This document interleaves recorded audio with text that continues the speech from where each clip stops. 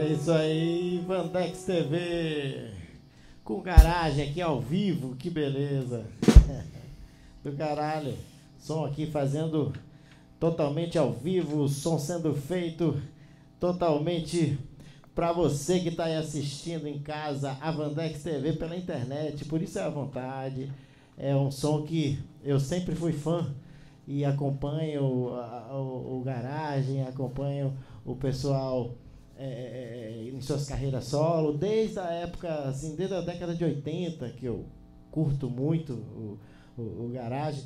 E me lembro da, da, do início da Jan ainda, que é um empreendimento muito marcante de Ivan e, e de vocês que foram né, os pioneiros né, nesse, nesse cenário de música instrumental. Ivan, você quer falar um pouquinho aí sobre como é que foi o início do garagem?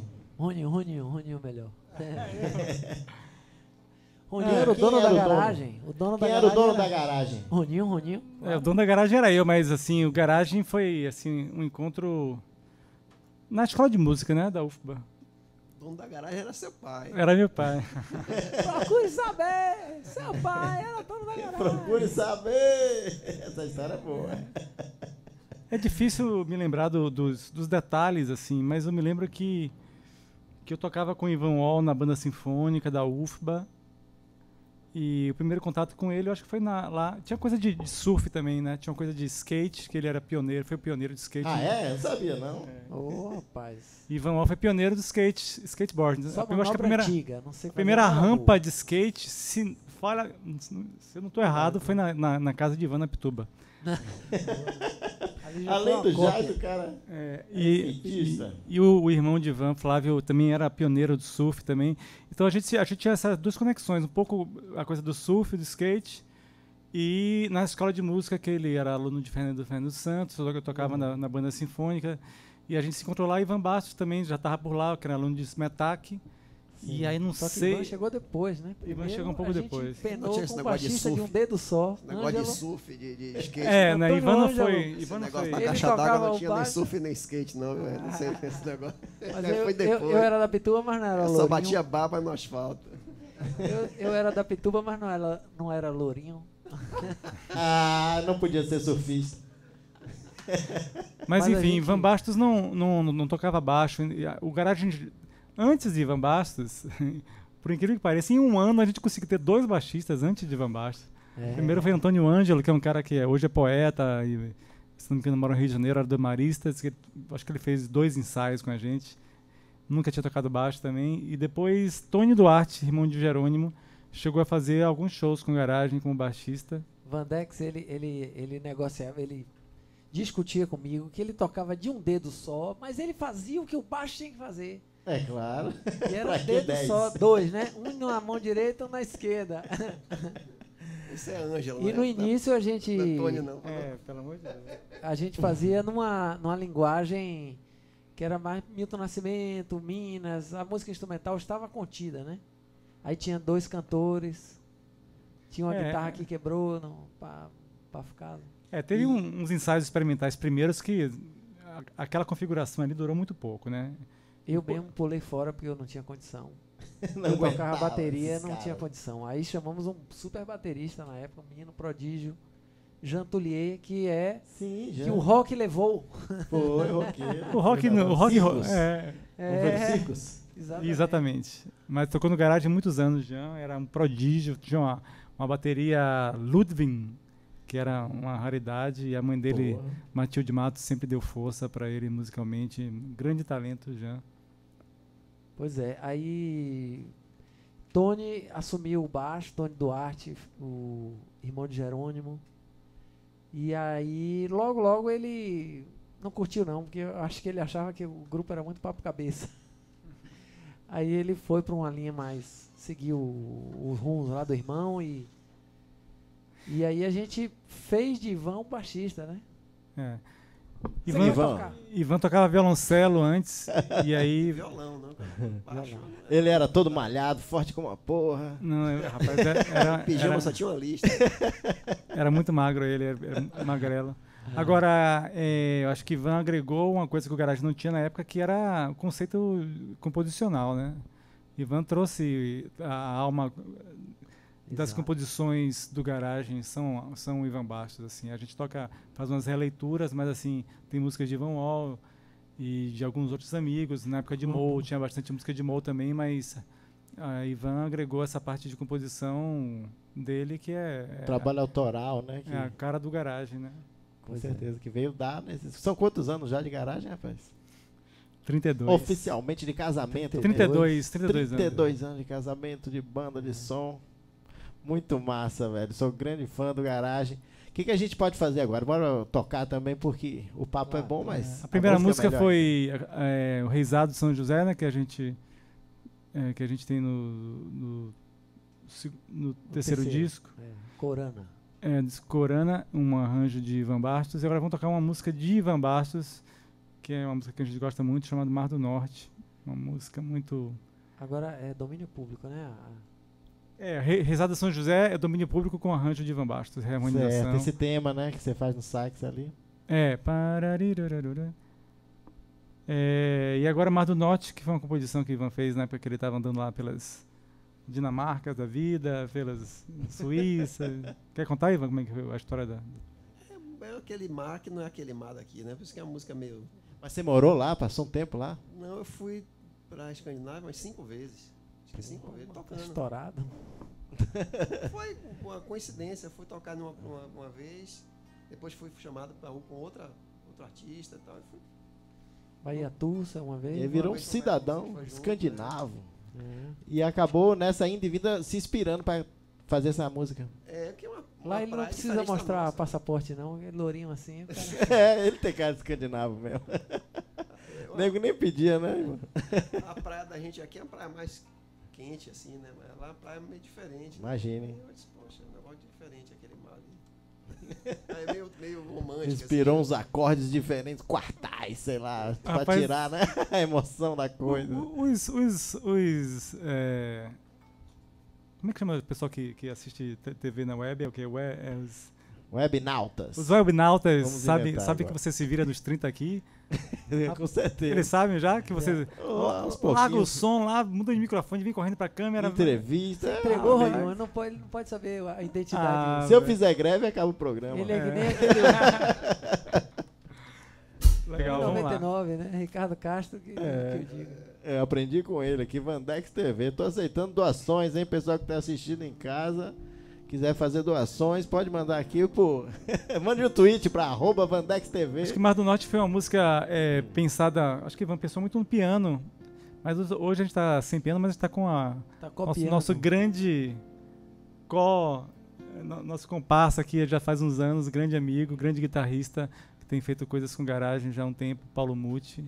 Então ele vai dar. Aí, vai fazer as vezes do piano aí nessa música. Mas o que ele gosta também é de rock and roll. É. é isso aí, fazendo garagem aqui, fazendo ao vivo, que massa, velho. Grande honra, vamos nessa.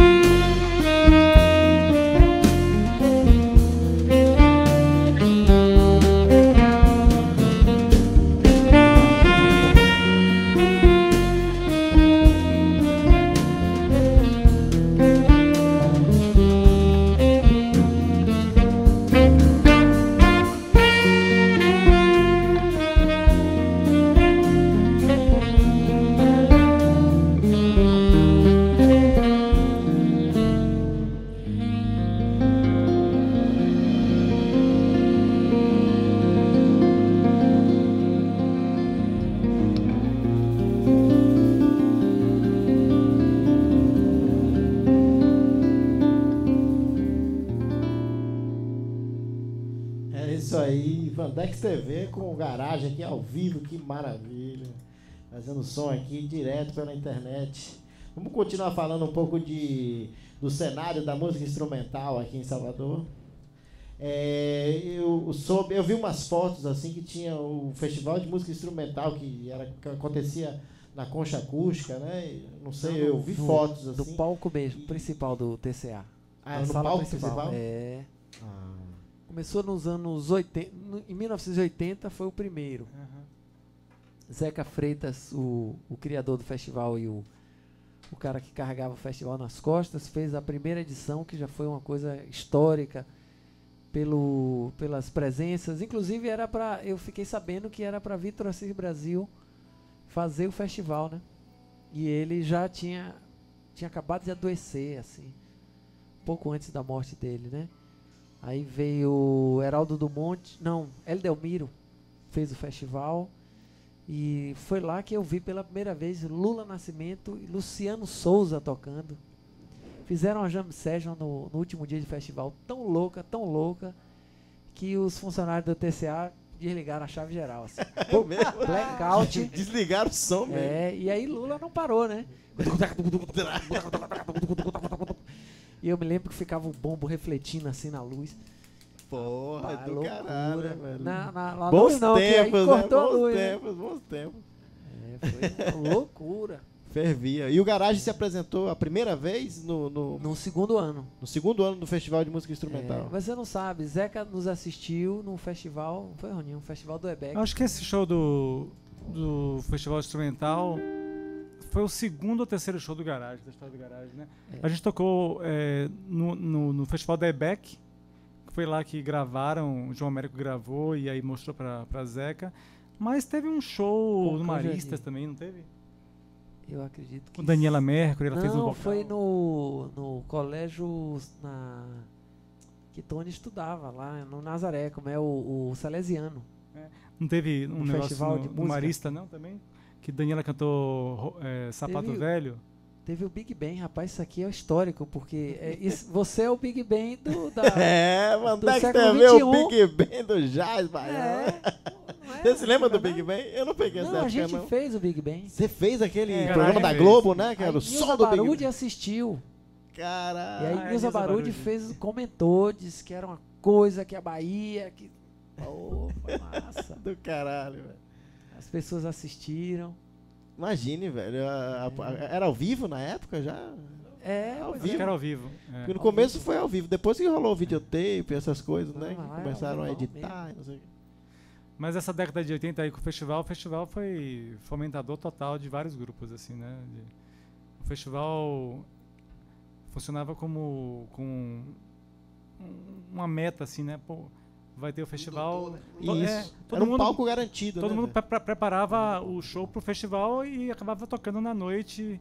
É, né, mas o festival alimentava a, é, a energia. A cena, né? É, a cena. certeza. Que foi imagine, dado que deu, né, velho? Imagine fazer um festival como esse naquele tempo. E era muito difícil. Muito difícil. Até hoje é, imagine naquela época, né?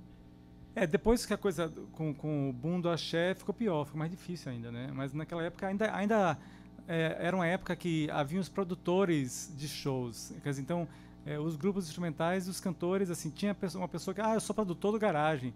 Aí a pessoa ia lá, conseguia apoio da, da Feira dos Tecidos para cenário. para apoiar o garagem, né? É, exatamente. Aí, mas, mas, os grupos faziam shows no, no ICBA, ainda, ainda tinham assim, ah, conseguimos patrocínio da, da farmácia Santana, sei lá. Sim. Uma coisa assim, era, era, não, não, tinha, não existia negócio de edital. Entendi. Nem, nem essa, nesse direcionamento que o, que o Axé tomou, acabou tomando, porque toda a grana dos patrocínios, dos grandes patrocinadores, acabaram indo para lá, porque lá movimenta uma grande não, maioria de, de, de, espectadores que interessa mais, né? Teve um é uma quantidade, né? Não teve é um momento, Vandex, que os donos de estabelecimentos comerciais da noite, né? Eles abriam o estabelecimento para um axé pequeno. Assim, quer dizer, tinha o axézão, que era Luiz Caldas estourado tudo, e aí ele ainda replicava esse axé na noite baiana. Então, foi o fim do, do, do voz e violão Sim. e o fim da música instrumental na noite. Porque também tinha um, o, o, o, a música instrumental acontecia graças também a, a, lugares bem definidos, como o bilhostre, o 100 graus, vagão. o vagão.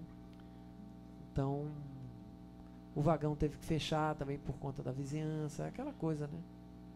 Que hoje a gente vive com mais clareza a questão da, da na Barra ambiente, tinha da... o Pegasus, tinha o Manga Rosa também. Tinha uns Manga lugares. Rosa me lembro. É, na Barra tinha uns lugares legais que rolava música de vez em quando. Dose dupla, dose dupla era, era na Vitória, né? Não sei. A gente vê que é um cenário talvez mais rico até que o de hoje, né? Se Não, você parar pra mais, ver. Bem, bem mais. mais, da noite era bem mais rico. Muito mais Hoje você vê no Rio Vermelho tem um lugar que. O absoluto é menor, né? Do que é verdade. Hoje, né? Talvez, né? Hein? O número absoluto assim, de, de casas é menor. Claro. Hoje, é. Só que casas para essa proposta assim era muito maior, né? Mas tem, tem bem mais grupos, tinha, tinha bem mais grupos ah, é, claro. é, fazendo trabalho instrumental. É, e trabalhos alternativos em geral, né? E, e a história dos bares, né? Os bares fornecendo. Eu acho que esse que seria, deveria ser o grande caminho assim, para Salvador, culturalmente, assim, é, é, reforçar a vida noturna. Né? As grandes cidades, exatamente. você vai em Barcelona, você vai em Nova York, tem uma claro. porrada de bar, tudo com música ao vivo. Você sabe uma coisa que tem em Copenhague? É, o governo porque a gente está falando de editais e tal, eles apoiam algumas casas noturnas. Porque contratam mão de obra. Exatamente. Músico. E fomenta a economia, né? É, porque contrata músico assim, faz uma, uma música lá, eles dão, tem uma, um dinheiro para ajudar a pagar esses cachês. Agora, Vandex tem um problema em né, Salvador também. Né? Que quando eu tive em Nova York, essas, todas as vezes que eu fui a Nova York, eu ia e eu, eu comprava a cultura, né, na verdade. É, Além de comprar uns pratos, melhor, né? uma coisa assim, eu ia comprar aqueles minutos ouvindo músicos tocando a norma culta do jazz, né? E uma coisa importante é o conceito de som que, que eles têm lá. Como a gente está tocando aqui num volume razoável, né? Sim. Não precisa, o jazz não, não pode ser tocado. O jazz assim, né? É verdade. Com, com sopro, com, pode ser tocado com é a, a, consciência, o tipo de som que eles fazem aqui. É Uma das coisas que a gente luta lá na Jan também, para manter a Jan naquele volume, né? Porque é. era uma luta nossa também, porque toda vez que a gente ia fazer show em teatro, a gente tinha que competir com o som. E o som não estava para nos ajudar, eles eram, eram um inimigo, né? Entendi. Porque as caixas eram muito grandes. Tem uma foto nossa, não sei se você viu, Vandex que tem uma, uma. As caixas de retorno eram as caixas de mamute. Me lembro. Então o retorno era assim, ó, dessa altura aqui. Ó. tem, é, tem uma foto líquida aqui. Agora, eu achei que quando você falou da coisa de você pagava por cultura, eu achei que você ia fazer referência aqui à, à cultura que tem muito na Bahia de não se pagar por, por nada. É verdade. Né? Assim, as pessoas, para pagar um couvert de, de 15 é. reais ninguém esbraveja, assim, A gente sabe? não tem o hábito de sair pra noite para ver música ao vivo, né? Porque, por exemplo, eles, eu sinto que aqui na Bahia o pessoal guarda, não sei se guarda o dinheiro, mas é, é, é todo centralizado no carnaval. É. Mas a grana do ano todo que ele poderia gastar, ele gasta em dois meses. um Tem uma outra questão também. A, não é dado ao músico o status para que você sinta que você está pagando pela música. Eles fazem, na verdade, uma, uma tramóia, quer dizer o cliente gosta de música ao vivo, mas o cliente não quer pagar a música ao vivo porque ele não está ele não tá ouvindo a música. Ele está inconscientemente a, a, música cria um ambiente para ele ficar ali no bar. É verdade. Se você cria uma estrutura que aquele bar é para aquela música e por acaso vende bebida, vende comida, aí é outra coisa. Então, ou você paga para assistir, você vai assistir aquele show, você tem que fazer silêncio durante as performances. Não dá para tocar foi por isso que a gente tentou fazer o Adlibito e deu certo durante o tempo, foi, foi, foi bem legal, mas também a, a, parte artística era ótima, mas a parte de restaurante era um fracasso, então acabou não, dando certo, mas, mas foi uma tentativa justamente disso, de, de, de dar o foco a, a, ao músico na, na noite, né? Um palco com luz, com som, que as é. pessoas pagam para ver aquele som e, diversificados, bares é, de todos os tipos de música. Com certeza, e, pop. E para mim o Rio Vermelho era o grande lugar. O Rio é. Vermelho ainda é, é, né? é, é, é, já é e se for incentivado, velho, formar um pool de bares ali de, né? Pô, ia Maravilhoso. ser lindo, ia ser lindo. Ia ter gente o ano ia todo. Ter dois, né? três bares pra Cadê música pop, ia ter dois, três bares pra jazz, dois, dois três bares pra blues, é, é você, rock. somos nós, não. A é. gente já tá na idade de abrir é. as nossas próprias. Vou, vou fazer o Vandex Bar. É. tá aí. Pode deixar. Tem os malls que transmite também pela internet ao, vivo todos os shows. É, é verdade, e, né, uma coisa pode ajudar a outra, né? A internet ajuda o bar. Eu acho, velho, eu acho que as casas noturnas são essenciais aqui pra música. Diga, Paulo Muti. Paulo Muti fala pouco, ele, mas em compensação, quando toca, só Ali, tá ó. ele aqui, fez um som. Esse é o Paulo Muti. E nosso líder espiritual do garagem aqui, ó. Ivan Uau, líder espiritual. O Saibaba do Jazz Baiano. Ah. o cara, o cara toca assim, ó. Aí eu, quero ver, eu quero ver a Mo Brasil botar uma foto de Ivan Wall na guitarra dele, assim como é. Mo Brasil me aguarde, eu vou criar o método do Mo Brasil de ah, é, vamos, variados. Vamos mostrar, hein? Vamos mostrar, mostrar. vamos mostrar. Breve, daqui a pouco vamos fazer mais uma, depois a gente vai mostrar o método Mo Brasil de ritmos. Na bateria. Mo Brasil exibe o baterista. É, toca é, mesmo. Toca mesmo. Que massa ali. É As músicas dele, realmente, ele é o cara que toca melhor. Agora, tem aquela. Sim. Tem aquela estilo, mas depois a gente mostra. Depois, breve, você que está assistindo aí, aguarde, não saia do sofá que a gente vai mostrar aqui a aula prática aqui de ritmo Mo Brasil. Só o Ivan sabe explicar. baixo também tem uns estilos de bateria, depois eu mostro. É? Ah. Eu não ah. sei se eu tenho tanta velocidade. Bora, gente. Aqui Vantex TV que é também é cultura. Levando educação musical para o povo. que beleza. Vamos, vamos fazer som. O que, que a gente pode mandar? Fazer uma música que não é do garagem, mas que eu, é, é, eu gosto muito de tocar essa música e é uma reharmonização que Tony Horta fez no, no Milagre dos Peixes de Milton. Nós somos fãs de carteirinha de Milton e de Toninho e, e vamos fazer uma música chamada Sabe Você, de Carlos Lira e Vinícius de Moraes. Vamos nessa do caralho. De garagem no Vandex TV.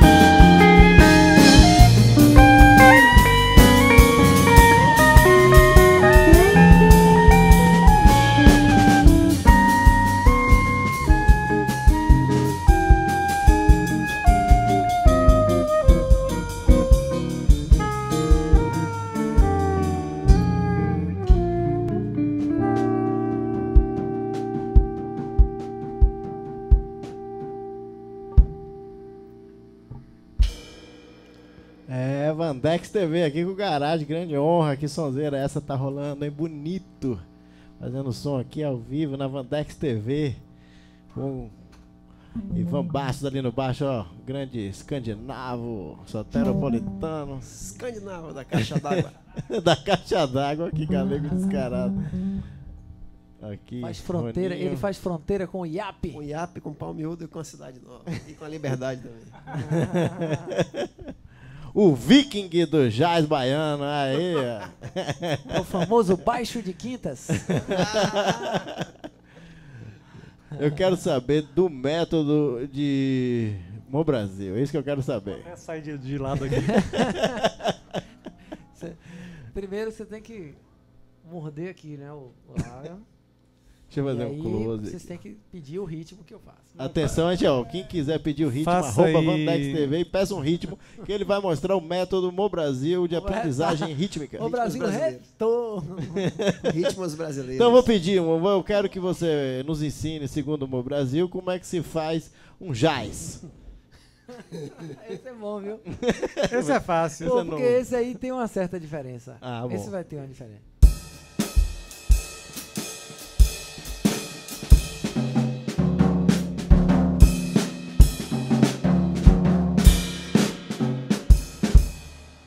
Massa, entendi tudo. Agora, um frevo, Ivan. Então, agora, agora atenção, agora plateia, um frevo. Segundo o Brasil, a gente vai agora.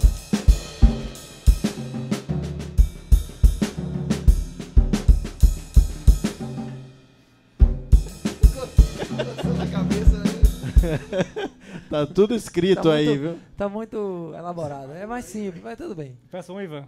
Ivan, por um favor. Samba duro, vai, samba duro. Samba duro na bateria.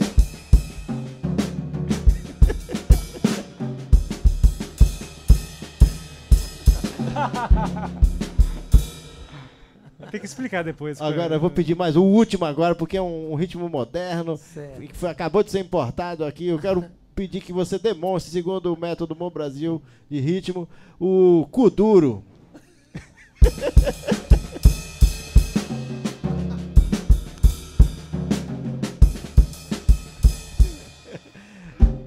e tem a paradinha, tem a paradinha passadinha, né? Ah, agora deu pra entender, claro, ficou clara a diferença entre um ritmo Todo e outro. Todo mundo entendeu as diferenças totais. Você viu que o jazz tem uma. É, é, é outro mundo, né? É. O jazz tem um.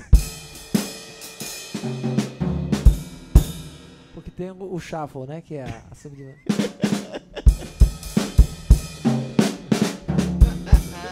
Ah, bom. Tem que, tem que, explicar, né? Porque. A primeira, a primeira exposição mundial do método de ritmos no Brasil. Bateria. Estreando aqui na Vandex TV. Quem quiser o método, basta escrever arroba Vandex TV e mandar um tweet aqui pra gente que a gente vai encaminhar. a gente vai ligar pro amor, né? Rock and roll fica pro próximo. ah, é, faltou a mesma levada. É, quer dizer, a mesma não. É Opa! Levada. Como assim? Como Só assim? que aqui, né?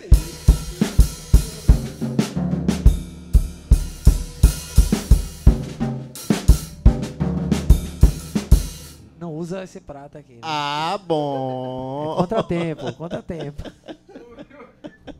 Então tá aí para você que tá assistindo toda a diversidade rítmica presente no método Mo Brasil. Mas Vandex, a jogada é a seguinte, veja bem, o garagem nos anos 80 e até hoje, ele é o terror dos bateristas, porque Ivan faz uma música, aí eu é uma foché, aí eu faço. Não, é aberto. Aí como assim? Aí tem que você tem que usar o método Bom Brasil. consultar. Consultar. Página 10. Apoché. Ivan é do tempo tem que... Ivan, do, Ivan é do tempo que a Foché, que Ijexá ainda se chamava Foché. É verdade. O Letieres não pode ouvir isso. Desculpa, Letieres. aí Ivan faz um frevo. Aí eu, pô, frevo. Não, não, tá muito fechado, é aberto. aberto. Vai tudo sair lá. Esse é o método Saibaba também. Saibaba.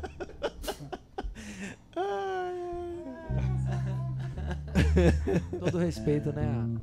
É, com certeza. A presença espiritual. Claro, claro. Dele está aqui com a gente agora no, no, no som. Grande mestre. Inclusive, terça-feira vai ter um. Terça-feira vai ter um. Não, terça não. Segunda-feira vai ter um, um show de Mo Brasil. Num. Ah, pensei que fosse um. Num evento de cinema. Provavelmente estava agendado para a sala de arte da UFBA.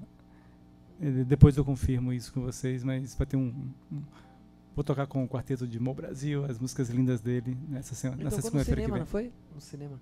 Hum? Tocou no cinema Glauber Rocha naquele dia. Ali foi o lançamento do disco. Mo lançou um disco novo agora, chama Farol, com participações incríveis de Marcelo Martins, de Steve Coleman, Manuela Rodrigues. Se não Mas... houvesse Mo Brasil, não haveria Paulo Muti. É, lá. E vem cá, vamos falar um pouco. a guitarra, viu? A guitarra, é, a, essa guitarra era a guitarra querida de Boa Brasil. Mostra, mostra aí. Essa Gibson aí, mostra aí, velho. Nossa para os, senhora, que coisa linda. Para os web espectadores, webs. É uma 335?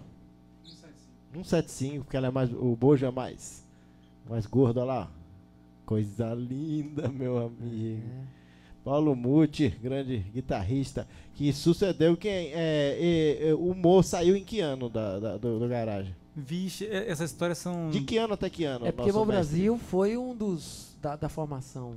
Original? Original, ele foi o último. Sim. Que entrou no grupo. E o Brasil era uma meta. Era um, até hoje ele é um músico. Sonho de consumo, né? É uma lenda, né? É verdade. Advanced. Então ele. Você ouve. Eu, hoje eu ouvia o, o, CD que a gente. Uma amiga nossa, Ione Papas, grande cantora, fez pra gente.